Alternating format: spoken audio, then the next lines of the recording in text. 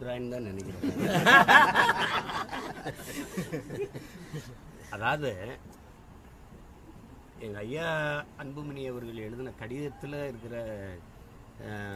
அலி அதனுடைய உண்மைத்தன்மையை நம்ம மறுக்க முடியாது. அது வந்து முத முதல்ல அண்ணன் அஹ், ஜெயபாஸ்கரன் தான் எழுதினார் அதை.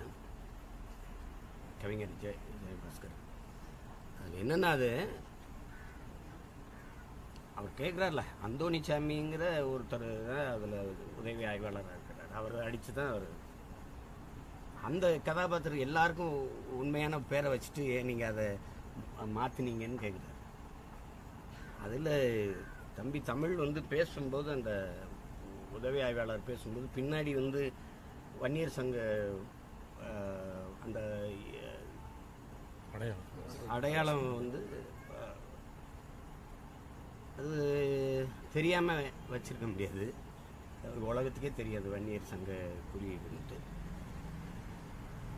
அது அதை தவிர்த்திருக்கலாங்கிறது என்னுடைய கருத்து. நான் படம் பார்க்கும்போது எனக்கு உண்மைன்னு தோணல. அதான் உண்மை. ஏன்னா நான் காட்சியிலையும் கதாபாத்திரங்களோடையும் மூழ்கி அப்படியே போயிட்டதுனால எனக்கு தோணல. அது சொல்லும்போது பா திருப்பி ஓ அப்படியா வச்சுருக்காங்களோ பின்னாடி வச்சுருக்காங்களோ அப்படின்னு இவங்க சொன்னதுக்கப்புறம் தான் நமக்கு தெரியுது. இல்லைன்னா அப்போவே தம்பிகிட்ட சொல்லியிருப்பேன். தம்பி இது அது எடுத்துடலாம் அப்படின்னு. அது அதுக்கப்புறம் அதை மாற்றிருக்காங்கன்னு நினைக்கிறேன். மாற்றி ஏதோ லட்சுமியோ சரஸ்வதி படமாக வச்சு வச்சுருக்காங்கன்னு சொல்கிறாங்க அதை தொடக்கத்திலேயே செஞ்சுருக்கலாம். அது அது அது அது தவிர்த்திருக்கலாம்னு என்னுடைய கருத்து. அது தவிர்த்திருக்கணும்.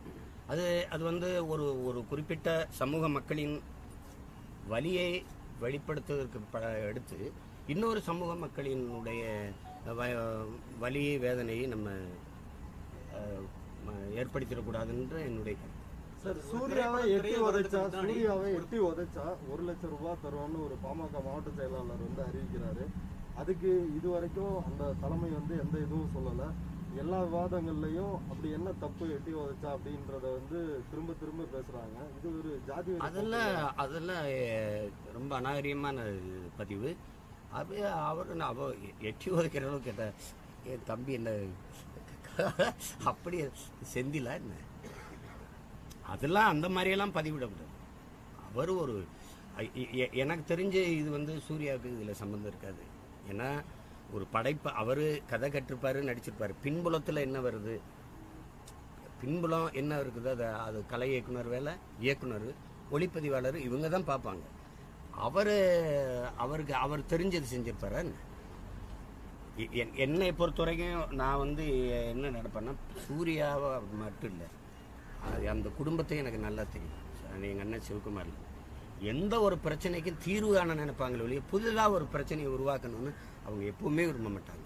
அவங்க அவங்க அவங்க உண்டு அவங்க வேலை உண்டுன்னு அமைதியாக இருக்க தான் விரும்புவாங்க. அது குறிப்பாக எங்கள் அண்ணன் சத்யராஜ் இருந்து எங்கள் அண்ணன் சிவகுமார் எனக்கு ரொம்ப தெரியும். அது வந்து எதுக்கு பிரச்சனை அப்படின்னு தான் நினைப்பாங்களே ஒழிய அப்படிலாம் அவர் திட்டமிட்டு செஞ்சிருக்க மாட்டார். அது போய் தேவையில்லாமல் அவரை மிதிங்க உதைங்க இதெல்லாம் வேடிக்கையாக இருக்கு. அப்படி பதிவு போட்டவரோன்னா உதைங்க நான் வேணா காசு கொடுக்குறேன். உடனுக்குடன் செய்திகளை தெரிந்து கொள்ள சன் நியூஸ் பெல் ஐகானை கிளிக் பண்ணுங்க.